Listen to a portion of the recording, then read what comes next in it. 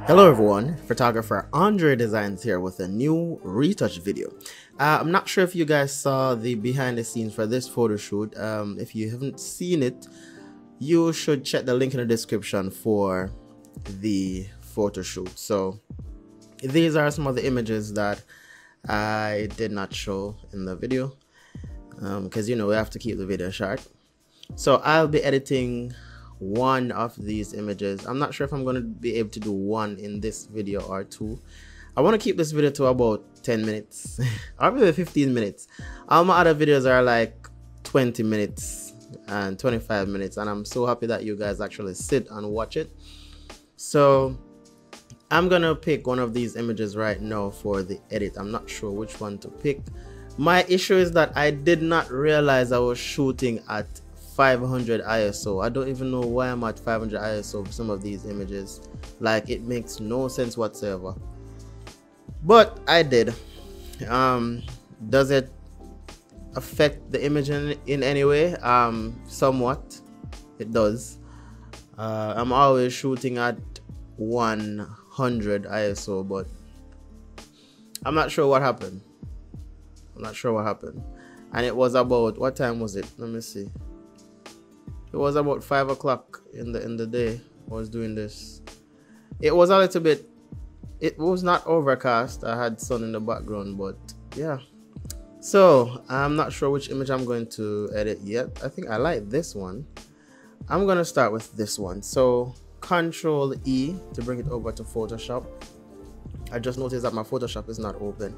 All right while Photoshop is loading um guys I've started a brand new um, wedding page. So you guys need to go over and subscribe to this wedding page. All my weddings I'll be posting here. And for behind the scenes for the weddings and stuff like that, I want to post them here. I don't want to mix my Andredesignz with the weddings um, photos. So yeah. And also, let me come over here to my personal page. Uh, thank you guys for 190 subscribers. I'm going to be uploading a lot of content to this page. I'll be uploading a new PC build and some other stuff so stay tuned for that. It's just that i'm doing a lot of stuff and it's just taking some a lot of my time. All right let's get right to the editing. I'm in two minutes already. All right so this image is not sharp but guess what? It's still a good image. This image will not be printed. I'm, I'm giving it to a talent and that's just it basically. So because the image is going to be uploaded to Instagram, um, you know, you don't really have to worry about it not being sharp, but always aim to get your images sharp. All right, so let's start editing now. So the first thing I'm going to do is to crop the image as you guys know. Let me come right here and I'm to crop it right there. Normally I would show the um, settings, but that is it. Just pause the video, you can look at the settings. all right so i'm going to start the editing process now. First thing i'm going to do i'm going to create a copy and then i'm just going to zoom up and press j on the keyboard for the clone stamp for the patch tool. I'm just going to remove all the blemishes real quick because i don't want my videos to be too long so yeah. But when you're editing your images guys please do not rush it because you will miss a lot of things and you know my videos is just to show you how i edit my images. I'm not actually teaching you guys how to edit. I'm just showing you how i do it. And if you can learn anything from it that would be awesome. So that's that. I'll come right here. Remove these as well yeah right good that looks good come down all right that's good that don't think i need to do anything else I'm gonna do frequency separation as well because I need to work on her arms. So I'm gonna click on the frequency separation action, which you can uh, download it from using uh, from my website by using the link in the description.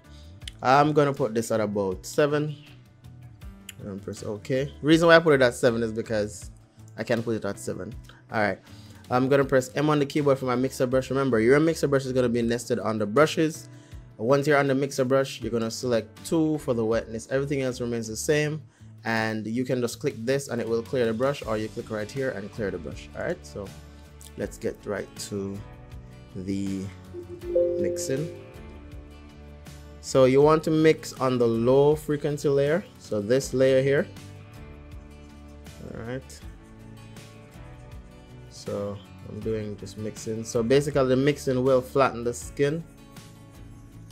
And after you flatten the skin you then use dodge and blur what am I saying? Dodge and blur. To dodge and blur? No dodge and burn. To um shape you know give it a, a dimension shape the skin all right uh the face is not 100 percent in focus but i'm still going to apply the um dodge. The um frequency separation. So that means i may have to do two images but i'm not sure if i'm going to be able to do two images in this video. All right so that's done. Let's look at the before and after for everything. Let me just zoom it up. So hold on on alt and then press this eye right here. That's the before. That's the after. Right. So oh see if you're rushing you will miss stuff.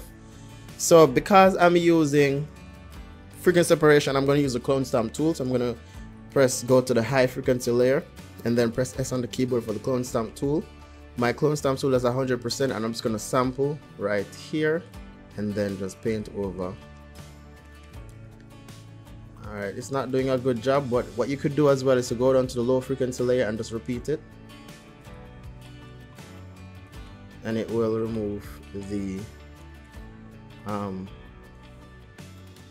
anything that you want to remove from the skin. Alright, so this is taking too long, so I'm just gonna use the patch tool for this one. So keep selected, keep it selected, and then go down to the low and then do the same thing that's faster so all right keep it selected and let's move on hope i'm not moving too fast keep it selected. Go down to the low do that. Good. So i'm done. Just check the clothing to ensure that there's nothing else there. That looks good. All right so i'm just going to minimize this right here and then i'm going to come up here to burn. And then i'm just going to shape the skin. Ensure that your foreground is white when you're painting on black. All right and then get the brush. I'm gonna put my brush flow at one percent good. And then i'm just going to you know paint the outer part of the model's arm just to shape it. Right, that looks good. Let's make a selection right there. All right that looks good. Perfect. Let me just come up to the model's face and just do here. Then the side the side and the neck just a little bit. All right let's look at the before and after for what i've just done before and after. Nothing too much. So now i'm to do color grading. So i'm to press ctrl shift alt e and then ctrl j to create a du duplicate. And then i am going to go to camera right there. And I'm gonna play with the colors now. This is my favorite part. I love to do color grading. So I'm gonna press auto and auto give me something nice. I'm just gonna press the Y right here for the before and after view. So this is what I'm working on. This is the before. And then I'm gonna play with the dehaze a little bit like right there. That looks good. And then I'm gonna come right here to calibration and then I'm gonna adjust the blues. All right so the blues is to change the color of her um, clothing right here because it's blue so I don't want to do that. So what I'm to do now I'm to press OK because I'm okay with what I've just done. And then what I'm to do I'm to create a duplicate now and then I'm to go back to camera raw again. And then I'm to push the blues in. So I'm to go back to calibration and then push the blue in. Because what I do I like the blue. I like when I when I adjust the blue hue it gives me a nice skin tone and I love that skin tone. See? This nice skin tone. All right yeah I like that. All right and because I want to keep the same blue in the in the dress what I'm gonna do now is to create a mask by just pressing the mask right there. And then turn this to black because I'm painting on white. And then put my opacity to 100 I'm still on the brush so I'm gonna do that. We bring up the size of the brush. And I'm just gonna paint in back the blue. In the model's um, dress because we want to have the original color and there are a lot of different ways you could actually do the masking but I choose to do it this way alright that looks good Perfect. All right, good. What's happening right here? Okay, that looks good. All right, so the next step now is to um, still color the image. So I'm gonna come right here and put some blue in the image a little bit because that's my signature look. I love to add blues to the shadow. And then I'm gonna add the color lookup. As a matter of fact, let me see if I can use a different color lookup, right? So I'm gonna come right here to the color lookup um, adjustment layer right here. So click on color lookup and then I'm gonna look for one that is different. I'm just gonna press this and use the arrow key to go down. Mm, nah. This one looks good. Let me just lower the opacity and see what it looks like. I think this is the one I always use. Alright, so I'm not gonna choose that one. Oh, I like this. This one looks good. Let me see before and after.